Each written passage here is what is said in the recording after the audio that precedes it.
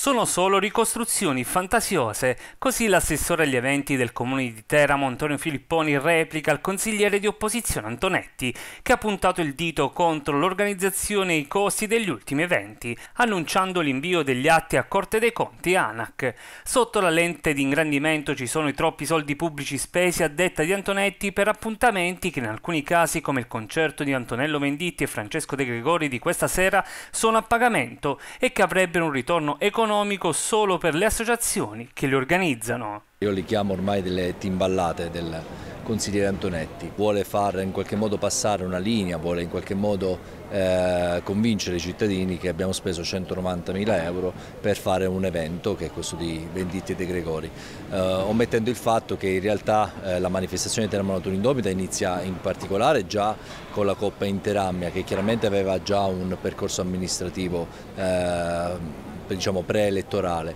eh, e continua adesso con due mesi di eventi, eh, quelli di agosto, dal 3 agosto quindi al 30 di settembre, con oltre 75 manifestazioni che hanno necessità di service audio, di allestimenti, di piani di sicurezza, di costi di comunicazione e tanti altri costi.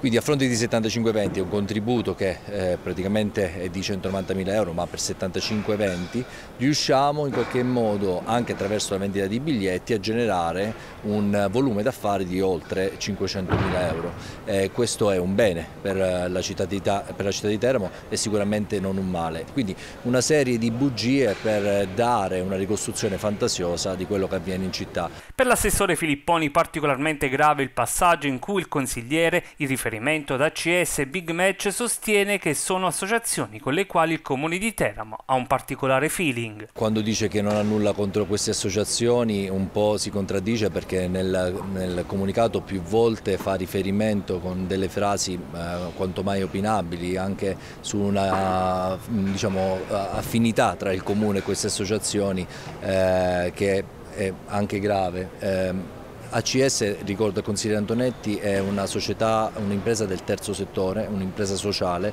è